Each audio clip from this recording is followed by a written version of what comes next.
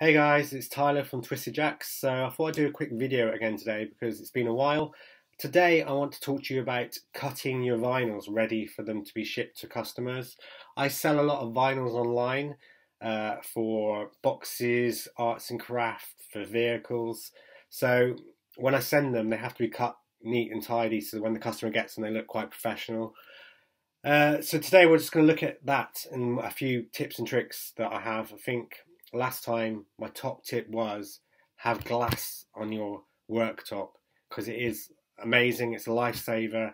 It stops all the dirt and dust. It stops your knife cutting into the top, and it's just so much easier to manage. And you'll see now again. So I've got some vinyls here ready to go. I'll just flip you around. So these ones are for Mother's Day.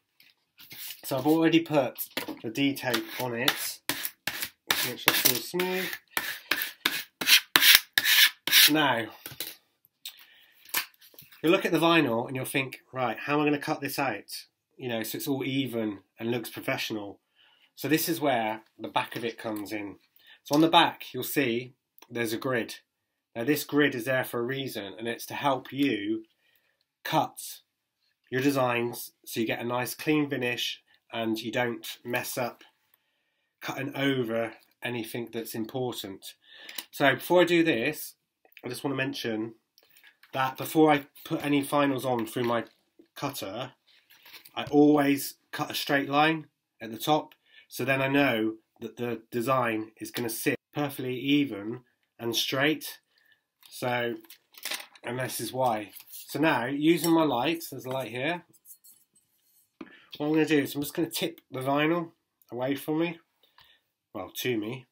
And then using a pencil, I'm just going to mark where I want to cut in between each vinyl.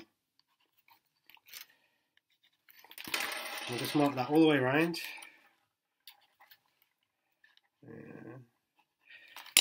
And then squares are your best friends, well, the grid, because that's going to help you get a nice, neat line. Take your ruler, just using those pencil marks you've just done, just cut around the design. Uh, this is quite handy when you have a piece of vinyl and it's got several different designs on it. You might have used one piece and just continued printing on it. Uh, I'm going to use that grid, cut down there. Obviously your marks are not always going to be exactly where the grid is. You just have to use that grid if you need to cut down the, middle of a mark.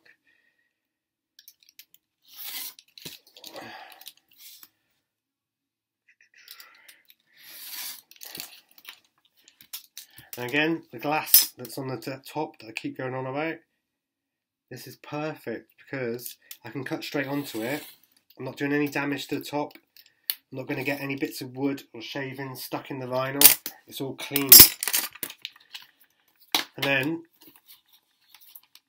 you have all your vinyls cut. And because you've used the grid, they're all exactly the same size. So now they can go straight to a customer and they look clean and professional.